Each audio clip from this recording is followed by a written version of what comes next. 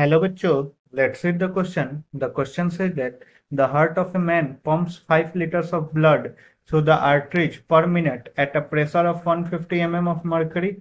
If the density of mercury be 13.6 into 10 to power 3 kg per meter cube and G is equal to 10 meter per second square, then power of heart in watt is. So we will solve this question. First of all, we will see what will be the key concept used to solve this question. The key concept that will be used to solve this question will be power is equal to force into velocity F into B. Now, we have been given density of mercury that is equal to 13.6 into 10 to power 6 uh, 10 to power 3 kg per meter cube. This, sorry this is 13.6 into 10 to power 3 kg per meter cube. And height of mercury is 150 mm of Hg so this will be equal to 150 into 10 to power minus 3 meter.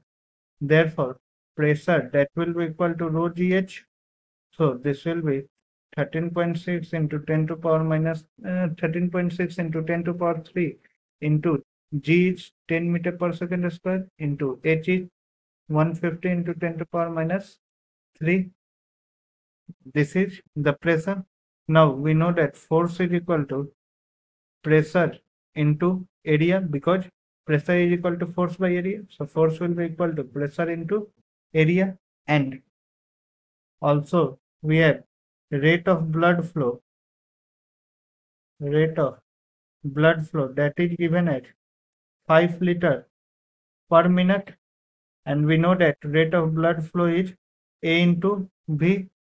That will be equal to 5 liter per minute. So 5 into 10 to power minus 3 meter cube by 60 seconds. So this will be the A into B that is 5 into 10 to power minus 3 by 60 meter per second.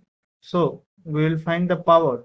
This is this is power. P is for power and this P is for pressure.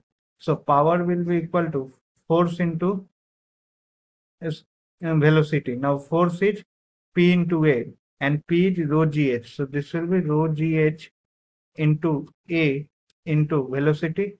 Now a into b is 5 into 10 to power minus 3 by 60. So we will combine this a into b and rho gh we have already find it out. This is 13.6 into 15 into 10 to power. This 3 and minus 3 will get cancelled. So this will be 136 into 150. This will be rho gh and we will have this is 5 into 10 to power minus 3 by 60. This is A into B. So on solving this, we will get it as 1.7 watt. So power is 1.70 watt. Hope you all understood it well. Best of luck.